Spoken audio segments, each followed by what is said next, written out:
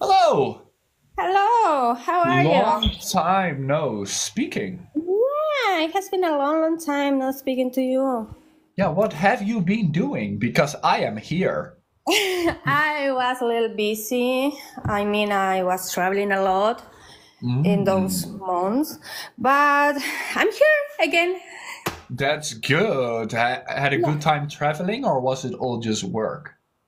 Well, uh, a little bit this, a little bit that, you know. I I, I lost my my pet. He was in um in Chile waiting for me, Uh-huh. but he passed away. So Oh, I'm so sorry to hear that. it's okay. It's okay. I'm fine right now. So yeah, uh, keep moving, right? Keep moving.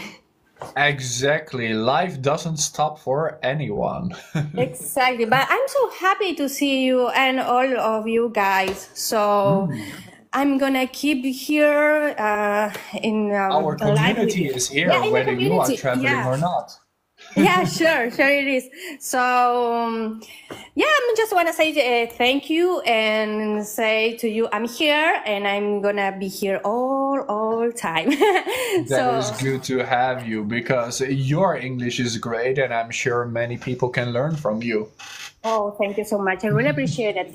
And I want to say, um, have a good day for all of you or good night, whatever is a night or day in, in your country. So, just that and goodbye for all of you.